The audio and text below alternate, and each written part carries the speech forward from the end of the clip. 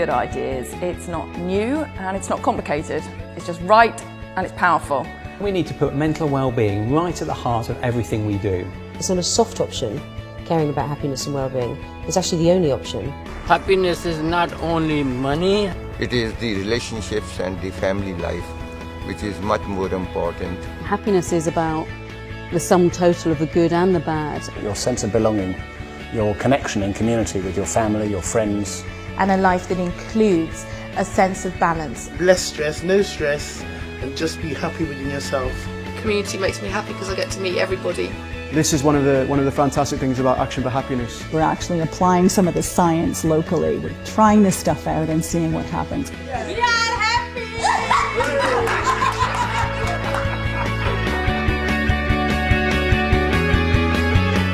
There's a paradox at the heart of our modern society.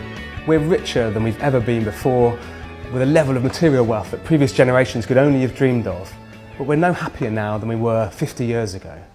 In fact, over that time, we've seen an increase in a whole range of wider social problems, far more young people struggling with depression and anxiety, a society that's much less trusting, we've got much higher levels of inequality, and a range of issues in family and community breakdown. So if our pursuit of wealth and of possessions and of material progress isn't making us any happier, then what on earth are we all doing? We all want to be happy and we want the people we love to be happy. And by happiness, we mean feeling good about our lives, wanting to go on feeling that way. And of course, by unhappiness, we mean feeling bad about our lives and wanting things to change.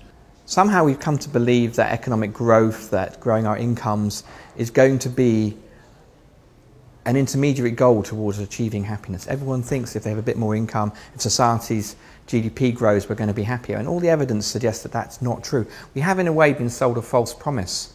And yet, in the last 10 or 20 years, we've seen an explosion of new knowledge about how you can make your life happier in your own life, in school, in a business, in a society. And most of that isn't being acted on, it's not being applied.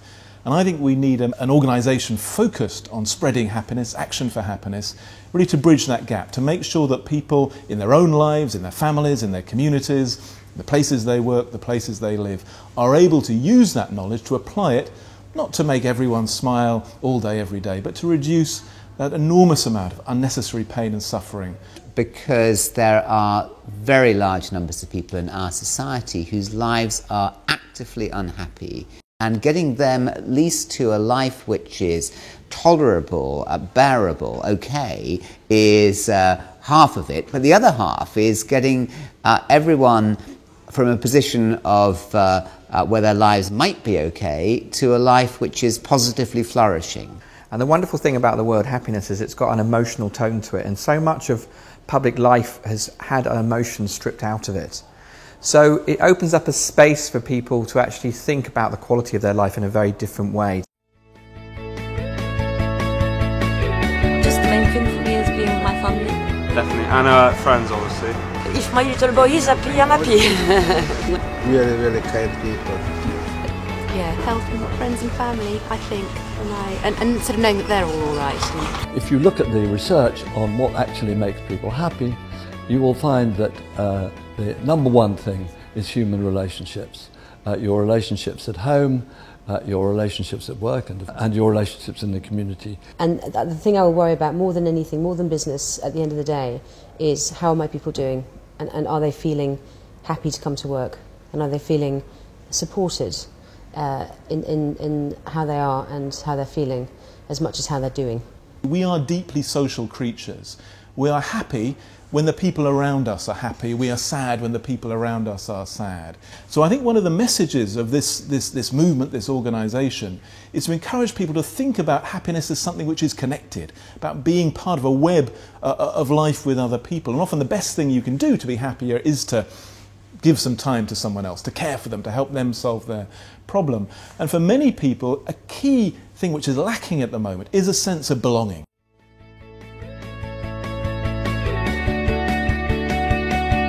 What's really empowering about what the research says is it shows that although our genes and our circumstances do have an effect on how happy we are, what's crucial is that our approach to life, our attitude and the conscious choices we make really can make a difference. And that, that matters to all of us. That means that how we choose to approach our lives can affect not only our own happiness, but the happiness of those around us. All the evidence shows, there's experimental evidence uh, and uh, comparison between people, shows that when you care more about other people, you actually feel better yourselves. Uh, if you want to feel good, do good. Well, I think giving makes people happy, and we don't fully realise until we do it. Not just about giving money, it's about giving time, giving your expertise, giving your energy, uh, being around other people.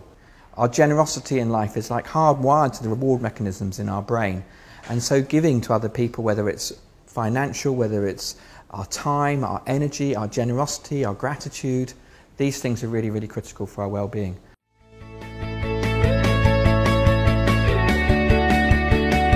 Action for Happiness is bringing together people from all walks of life, from all different backgrounds. It's people who not only care and believe that happiness and well-being is important, but people who believe that we can each make a difference not only to our own happiness but to the happiness of others through the conscious choices we make, through the actions that we take in our daily lives. Members will be asked to commit themselves, to aim in their lives at producing more happiness uh, in the world and, and less misery. And we're going to be providing them with information, with ideas, with suggestions and materials of what they can do, what actions they can take to help build a happier society. How do we join together and how do we talk about this in a public way? How do we get people thinking differently? And I think what Mark and some of the other people at Action for Happiness are doing is creating a space for people to start a conversation nationally. I think is a very, very important part of what we have to date not been able to do being a sort of young idealist and uh, having you know that kind of maybe that sort of spirit of uh, wanting to, to change the world, I was struck by Action for Happiness's um, ambitions to do exactly that. Mind's very pleased to be working with Action for Happiness because we think it's really important that we, we spend time as a society thinking about the things that we can do to improve happiness. Because so many of the people with power in our society have never really asked that question not in a rigorous, systematic way, and they're not aware of the knowledge out there which could help them not only make the people whose lives they're influence happier, but actually probably make them better at getting their business to be profitable, their school to get good results, their hospital to help people recover quickly from sickness. So we're bringing people together, we're providing practical actions and materials, and we're also trying to change the public debate. And all of that is part of moving towards a society that values and prioritises the things that really matter.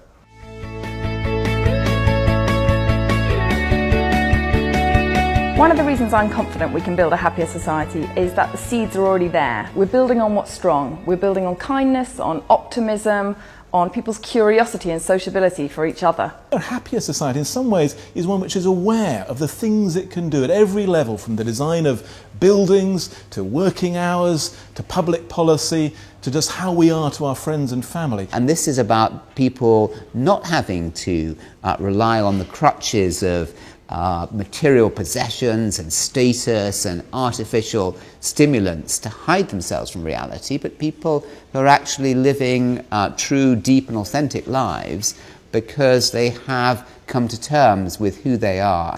So, you've heard a lot about Action for Happiness. Now, we don't have all the answers, we can't possibly, but what we do have is a vision and passion, and we really believe in something better. We would love you to join us. We would love you to come to our website, add your voice, join the movement, be part of Action for Happiness. Together we can make a difference, together we can take action, together we can create a better, happier future.